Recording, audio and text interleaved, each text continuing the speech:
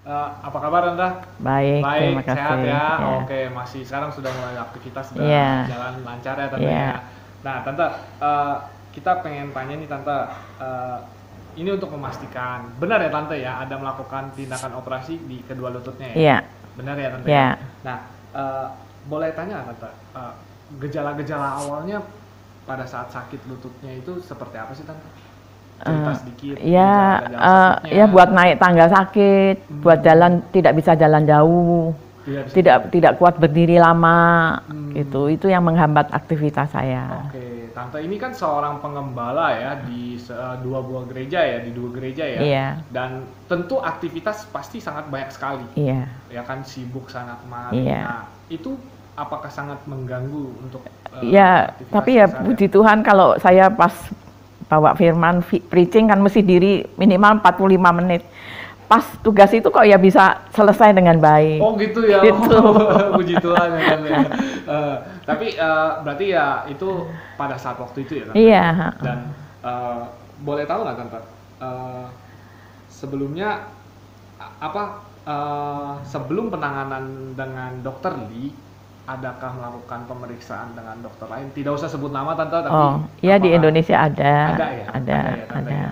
Nah, boleh cerita sedikit nggak tante, kenapa sih memilih dokter Lee di yang jauh-jauh di Kucing gitu? Ya, ki- kita kan sebelum eh, sebetulnya tuh second opinion ya. Dari Ya. sini memang sudah dibilang saya udah eh, ini penyakit saya ini ada di stadium 4. Nah, untuk meyakinkan itu kan kita timba informasi. Terus kita umum eh, saya ter- suami saya terus terang eh, kasih tahu min- pamitan juga sama jemaat bahwa saya akan pergi nganter istri bla bla bla bla untuk cek dan lain-lain. Mohon dukungan doa. Setelah itu bu selesai ibadah tuh ada ibu-ibu yang turun. Oh, oke. ibu-ibu itu turun dia bilang eh eh, pendeta Gilbert dioperasi di rumah sakit ini loh dokternya ini loh. Nanti deh saya sampai rumah aku kirim WA ya lah dia kirim WA ke anak saya Oh, oke. Nah, sa- saya su- sudah dengar, dengar info dari Charlie, dengar info banyak, tambah dengan info ini, ya saya gabung dan kemudian memutuskan untuk pergi ke Kucing. Oh begitu. Gitu. Jadi dari apa? Heeh, kemudian iya, iya, informasi, heeh, apa, heeh. Apa cari-cari lagi? Iya, iya, iya, karena kita- operasi itu kan jalan terakhir ya. ya betul. Ka- Kalau kita mau ambil keputusan ya mesti banyak denger yang Banyak pertimbangan. Iya, gitu. Iya. Oke oke oke.